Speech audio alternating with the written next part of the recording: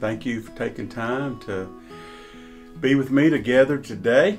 Uh, I have a little passage that God's placed on my heart where Jesus is teaching a parable, and uh, I've entitled it, What Are You Seeking? As a pastor, it is a privilege to have a relationship with people in the church, and one of my favorite people. Her husband has been in either a rehab facility or a hospital for about seven weeks. During this time, when she couldn't have contact with him, she couldn't go to see him, and before she's always been with him. They're a couple, they're in their 80s, and just a sweet, sweet couple, always encouraging and always together. And uh, so, as she was struggling with this, and I was talking to her as her pastor and praying with her through the days, I asked her, I said, Is there anything you need? She gave the Christian answer pray. I was already doing that. I said, No, is there anything that you need? I said, Do you need uh, someone to come over and just sit with you, and uh, or, or maybe a family member? And she said, No, Philip. And I said, You're okay? She said, Yes. She said, During these times that I'm alone, I'll open my Bible and read it, and I'll talk to God, and He gives me peace. Wow. Her heart and God meeting her in her life. It was just a, a wonderful, wonderful picture of God and His love for her and them. And being with them as they go through this pandemic and all that it creates. Uh, I think it's an it's an important thing to understand the heart of the matter. And she put everything in perspective as God meets with her. And I think Jesus is doing that in this parable that I want to share with you today. He's coming to the heart of the matter. This guy comes and asks him a question about the inheritance of the family, questions that we hear. Uh, you know, I need more. Uh, is this right? And he was asking Jesus sort of as a civic judge to make a judgment. And Jesus cuts to the heart of the matter.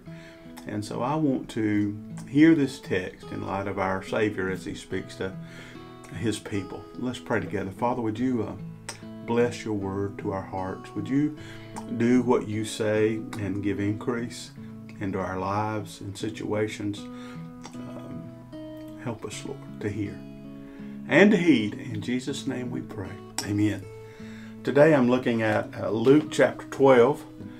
Uh, and I want to read from a New Living Translation. It's sort of a thought for thought translation. in uh, Luke chapter 12, beginning in verse 13. Then someone called from the crowd, Teacher, please tell my brother to divide our father's estate with me.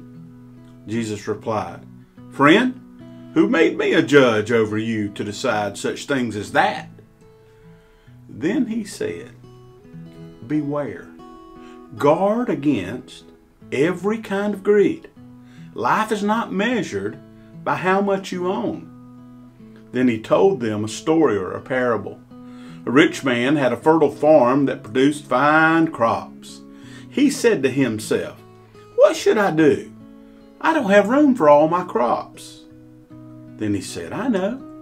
I'll tear down my barns and build bigger ones then I'll have room enough to store all my wheat and other goods. And I sit, I'll sit back and say to myself, Eat, drink, and be merry. My friend, you have enough stored away for years to come. Now take it easy. Verse 20. But God said to him, You fool, you will die this night then you will get everything you worked for. Yes, a person is a fool to store up earthly wealth, but not have a rich relationship with God. You know, one of the things that is, is true is that you can't have a relationship with God when the world, what you desire, money, or other things are above your relationship with God there's a priority that, that God gives us. He says, Jesus says, seek first the kingdom of God, and everything else will be taken care of. This young man that comes, he's really just wanting God to mediate or judge between the situation that he has in his family. But Jesus immediately comes to the heart of the issue. He recognizes that it's more than just about the inheritance. It's about his desire. It's about what he has a heart from. He says in verse 15, Beware, guard against every kind of greed. Now, that word greed means a desire for more. Now, more is a, is a term that's relative, which simply means that you want more and more and more and more and more. It's relative. Uh, you measure what you have and you want more. And that's greed, or the Old Testament word we're uh, familiar with is covet or covetousness. Uh, you see this in Exodus chapter 20, verse 17, the 10th commandment. He says, Do not covet what your neighbor has, essentially his wife, his land, his servants. You don't covet, you don't desire what other people have. And that's what he's talking about as he gives this parable. Be careful that you're not wanting more. I see this sometimes even in the church growth music movement that sort of uh, become a part of the church. We want more and more and more. And bigger is better. well, Jesus is teaching something contrary to that. And he is warning us against greed. Um, greed is like a cancer, but it's not a physical cancer. If you die of physical cancer, you're going to get a brand new body if you're a born again believer. But if you have a spiritual cancer, you're not going to get a born again body. You're going to perhaps live in eternal damnation because you've missed the main thing of life. Uh, it, it's easy to do in a world where we evaluate everything by what we see, our science, or our own values. And Jesus is warning us to beware of that. Um, Tolstoy tells a story about a, a guy, and he entitles it, How Much Land Does a Man Need? And it's a story of a farmer who uh, was given the opportunity for a thousand rubies to walk around uh, as much land as he could in one day, and then he would receive that land for a thousand rubies. Well, he started off, you can imagine, faster, as fast as he could. Then he started getting faster, and he was going as far as he could. Uh, but he had to be back to the starting point because if he wasn't back at the starting point by the end of the day when the sun went down, then he wouldn't receive anything the story goes on to say that he made such a large circle that by the end of the day, as the sun was setting, he began to run and push himself and run harder and run harder. And finally, indeed, he made it back right as the sun was setting. But he had given so much to that endeavor to make it large and more that he died. His servants put him in a grave six by three feet. And then Tolstoy, how much land does a man need? And if we're not careful, what we covet, what we desire, the greed within us causes us to want more and more. And Jesus is warning against that. Listen to what he says in this text. And it's, it's really funny. You can tell the guy in the parable had been seduced by this idea. Listen to what he says, beginning in verse 16. Jesus replied, Friend, who made you a judge to decide such things as that? Verse 16, I'm sorry. Then he told them a story. A rich man had a fertile farm which produced fine crops. He said to himself, What should I do? I don't have room for all my crops. Then he said, I know. I'll tear down my barns and build bigger ones. Then I'll have room enough to store all my wheat and other goods and I'll sit back and say to myself, My friend, you have enough stored for years to come. Now take it easy, eat, drink, and be merry. Now, one of the deceitful things about greed is this he thought if he had more, then finally he could relax. Not that his barns were full now, but that he needed more. Then he could eat, drink, and be merry. And that's what greed does. It says, man, if I only had that, if I only had that. And it, and it causes us to strive or desire to seek after those things. And the next thing you know, we're captured by our greed. And we often do not see it. We justify the American dream and, and say that anybody could make it. And that is true. The Bible says that if you don't work, that you shouldn't eat. That's not what we're talking about here. You should work. You should work hard. You should do your best uh, as unto the Lord, whatever you do, whether you eat, drink, or whatever you do. But this is talking about a desire for more, a desire for bigger, a desire for better. Uh, instead of being satisfied with where God's placed you, we desire more. Or Paul puts it this way in 1 Corinthians 4, verse 7. He says, What do you have that you haven't been given? And if it's been given to you, why do you boast? Because indeed, all we have, our gifts, our abilities, our strength, our breath that we just breathed, it all comes from God. He provides for us.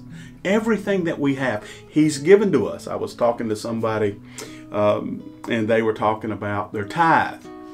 And you know, uh, they had obviously not been giving. They were giving their tithe in other places and things that they wanted to do. And, and you see this quite often.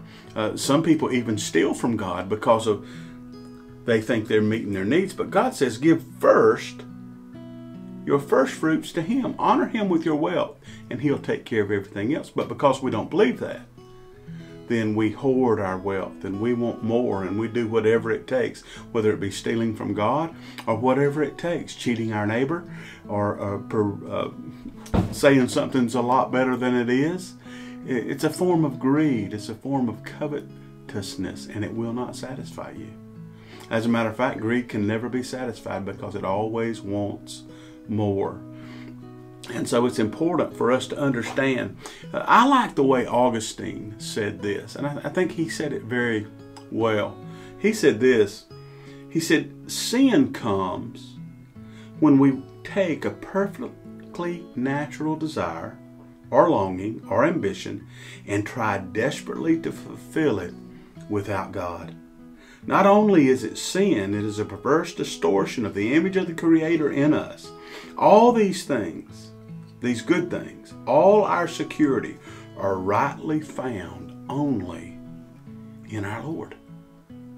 And to take sex, you see this often where instead of a, a man and a woman enjoying themselves, they begin to look outside and entice through uh, sexual desires. The same thing with money.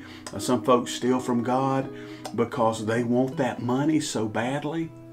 And so anything that is good can be distorted if it's taken without God. The heart of the matter here is greed. Not only is it the tenth commandment, but it's something that lures us into living without a rich relationship with God. And that's ultimately what he says here. Listen to verses 20 and 21. I want to leave this with you. It's not something I can measure for you. Maybe you're listening today and say, Well, I'm not that way, I'm not that way. But look at your life. Look at what you spend your time doing. And figure out where is God in that. He says it this way in verse 20 and 21 in the New Living Translation. But God said to him, You fool, you will die this very night, then you will get everything you worked for. Yes, a person is a fool to store up earthly wealth, but not have a rich relationship with God. You know, God sort of laid this text on my heart last week, and and I've really thought about it in light of my own life. what do I desire? What am I looking for? Am I looking for something without God in it? Man, I want to encourage you today. Jesus' message, according to Matthew, the apostle, was given to us in Matthew 4:17. It says, "Repent, for the kingdom of God is at hand." And we've almost made repent a four letter word, and all it merely means is to, to turn back to God. And when we hear God's word, it's not meant to make us feel bad or that we're not doing right. It's meant to reconcile us, to call us back into our relationship that is right with God, that is rich with Him. this guy, you know, I, we're not told in the text what it is, but I believe that he heard that message and he realized that he wasn't where he needed to be.